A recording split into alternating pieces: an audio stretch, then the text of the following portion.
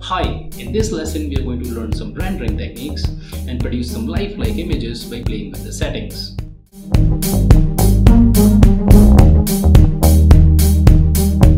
This lesson is part of a SolidWorks crash course on Udemy where we are modeling a race car part by part. You can download this lesson plan using the link in the description and the source files from our Udemy or Patreon page. So let's open a caliper part we made in the last lesson.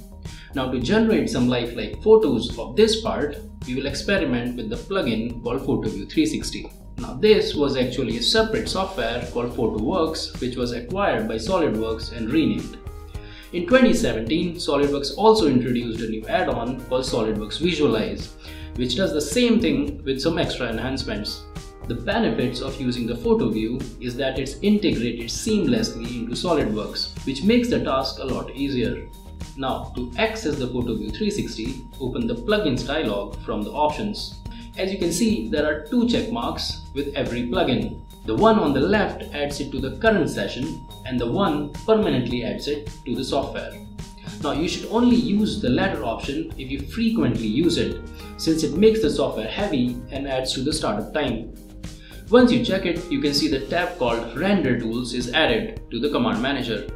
Now, producing some lifelike renders takes a lot of hard work and it involves changing numerous parameters which we will see in details later on. But for now, let's settle with the fact that there are two things which affect the product render drastically. First is the appearance which you apply on an object and the second is the environment it is placed in. The appearance defines the surface properties like texture, reflectivity, transparency and so on.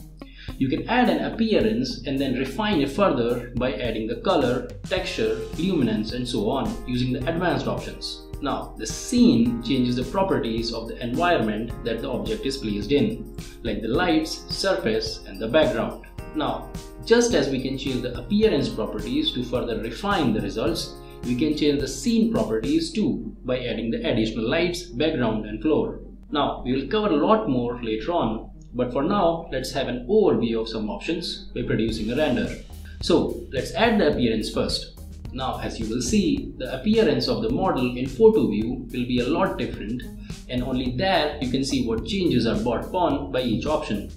But you can get a glimpse of it in the preview window. Now there are other options too by which you can check but those are resource intensive. One of this option is the real view graphics which you can only turn on if you have a compatible graphics card. This can directly show the photo view image. The second option is using the integrated preview. This again shows you the photo view image but it will seriously slow down your system. So the best option is using the preview window. Again to maximize the performance, keep it at its minimal size. Now coming to appearance. SolidWorks has a host of materials ranging from metals to organic textures like leather. You can also add transparent material like acrylic or even lights. So let's add the painted appearance which will give us the shiny car paint appearance. But this still seems a bit dull to me, so let's go for the glossy plastic appearance. So sometimes we must add some lookalike materials and properties just to get the desired renders. But there is nothing wrong with that as long as it gives the desired results. Besides, you're not actually assigning any material to the part here. This is just an appearance. The mass properties are not determined by it. To add the material which will define the mass properties and will be present in the drawings, you must go to Assign Material option in the design tree. Now, to apply an appearance to the whole part, just double click the appearance. To add it to the specific feature, just drag and drop on a feature and then without moving the pointer, select the desired entity. Now when it comes to appearance hierarchy, there is one thing that you must understand. The feature appearance takes precedence over the body appearance and the face appearance takes over the feature appearance. So if I should write the order with the highest priority first, it will be face, feature, body, part and the assembly. It also makes sense since if you want to paint the whole car red, you can first add a red paint appearance over the whole part and then add a different color over few stripes which saves time. But there is also something like the assembly level appearance, which takes precedence over the part and the body appearances. So, to get the hang of it, try adding appearance at different level and check for yourself. The benefit of having the render tools right inside the modeling environment is that it makes a lot easier to add the appearance exactly where it is needed. If you export the model to some other software like Keyshot, you will have to work extra to define the entities on which the appearance will be added. So here is a tip. If you are adding the appearance but nothing seems to change, check what appearance is suppressing the effect by right clicking the feature and clicking the appearance. Also, you can access the Appearance tab using the little arrow on the top right corner of the design tree. Now, if you're not satisfied with the appearance that you added, you can refine it by clicking the entity and selecting the option. At this point, you can add a different color, maintaining other surface properties from the appearance. Also, you can go to advanced option to check further surface properties like luminance, reflectivity, diffusion and so on. Turn on the dynamic help to see which option does what. Now, you will have to experiment a lot to fully understand the effect of each parameter. But it is required since only then you can achieve that picture perfect view of the model. We will see more of these options later. For now, let's go to the environment settings. To add an environment, go to the scene option.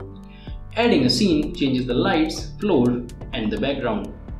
Once you apply that, you can further refine it by going to the edit scene option. Here you can change the scene background, floor location and the floor reflections. An important aspect is the floor location as it defines the base and hence reflections. If you hit the offset floor to geometry, you can get the floor where it is supposed to be. You can also change the reference plane to set the floor location. You can check some of the advanced options too, from where you can rotate the floor or the environment which changes the light location. Playing with these options will tell you what changes are brought upon by each option. Now at last, if you're not happy with the illumination of the scene, you can add custom lights and see what changes it brings to the table. Once you're satisfied with the results in the preview window, you can hit the final render button. But before that, make sure that you have set the right options for the output image, which you can do using the render options. You can change the output image size, quality and type. You have further more options here which you will see later on. For now, let's hit render. Once the image is rendered, don't forget to save the image. You can save a JPEG image or a transparent PNG image, amongst a host of other options. Now you can take one more step here to save time by reducing the output size and quality, just to check how it looks like when you hit the final render. This will reduce the render time while giving you a glimpse into the final render even further. Now depending on your system resources, a good quality render can take up to 1 hour just for the render, excluding the time spent in setting up the scene. Now we can learn a lot more when it comes to render settings, camera and lights, which you'll see in the respective section. But here, let's get a few realistic images and be done with it. Right, so to recap, it is a list of tools and techniques learned in this lesson. In the next lesson, we will start with the routing tools and produce the disk assembly with the tubing. So don't forget to join us for something exciting on Facebook and YouTube and partner with us on Patreon to share our work and revenues. Have a good one.